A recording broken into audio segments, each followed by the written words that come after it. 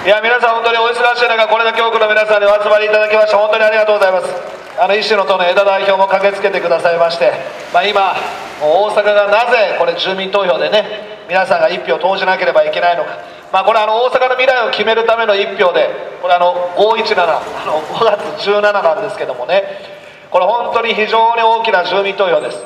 この結果にはですね住民投票の結果には内閣総理大臣まで従わなければいけません。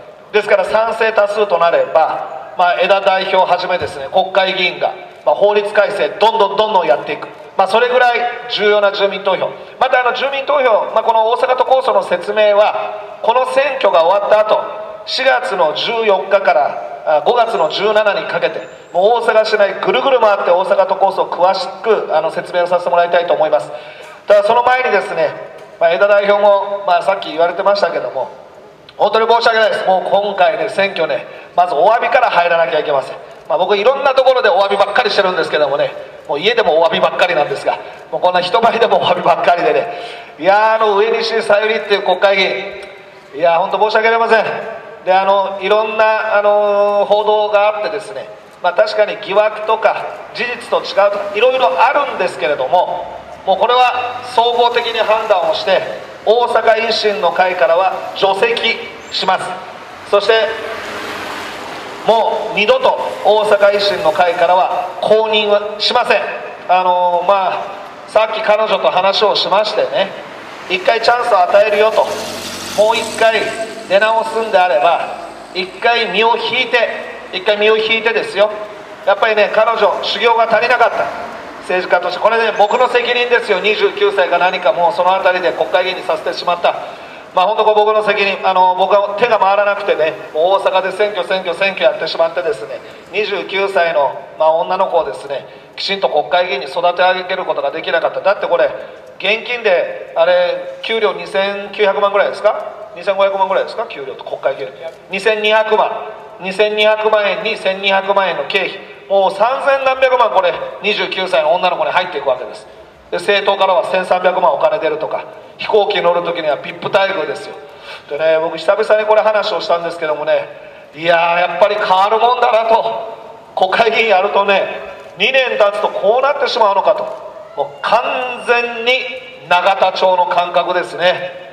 ですから一回やめてね2年間3年間もう一回修行を積んで次の選挙の時に一生懸命努力してまた維新の会から出て維新の党から出てしっかりやればいい。だから一回どうですか？一回時間を置きませんか？って言ったらね議員の身分は法に触れない限りは議員の身分は奪われませんとかですね。で今の大阪の状況どんなか知ってますか？と。もうみんなねこれは大阪市議会議員あの井戸さん。これだって大阪市議会議員は大阪都構想って何のためにやってるかといったら自分をクビにするためにこれ大阪都構想やってるんですよ。井戸さんは大阪都構想で5月17これ住民投票で賛成多数になったら井戸さんクビになるんです。2年後に。大阪維新の会のメンバーはねちょっと頭おかしいんですよ。みんなね自分をクビにするためにこれ大阪都構想大阪都構想って言ってまあ僕はもう大阪市長クビになる。これ当たり前。まあ僕はいいですよ。そのためにやってきたんですから。でも大阪維新の会のメンバー市議会議員はねこれみんな仲間。みんな自分をクビにするためにこれ大阪都構想やってる。なぜ自分をクビにするためにやるか。大阪のためには絶対これが必要だ。未来の大阪のためには絶対にこれが必要だ。当然自分たちがクビになっても大阪のためにはこれやらなきゃいけないってことでねみんな集まったメンバーが大阪維新の会なんです。それがねこの状況の中で秘書と何かしたどうだらこうだらであのメディアへの対応ねあれもいろんな言い分あるかもわからないけども、まあ、あんな対応になってもうぐちゃぐちゃな状況になって、まあ、こうなったら最後はね自分で身を引くっていうのがまあ政治家の責任の取り方。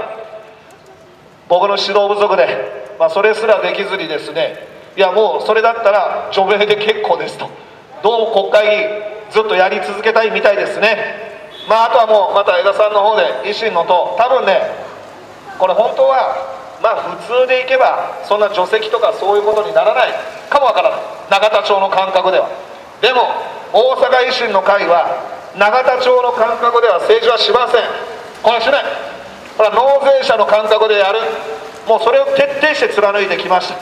僕らがここまで最初たった6名のメンバーから始まった大阪維新の会が自民党相手に勝てる。民主党相手に勝てる。公明党相手に勝てるようになったのは皆さんから応援をいただいた。なぜ皆さんから応援いただいたのか。僕ら何も力も何もありませんよ。そんな万能の能力も何もない。まあ言ったら僕なんか人も悪いし口の利き方も悪いし性格も悪いしもう悪い悪いだらけだけども。でもね忘れないってずっとやってきたことただ一つだけ。民間人の時僕も8年前までは民間人ですよ。大阪市のあの北区で弁護士事務所持ってますけどもね。民間人で納税をしていた時のその気持ちそれだけを忘れずにねこの7年間やってきたつもりですよ。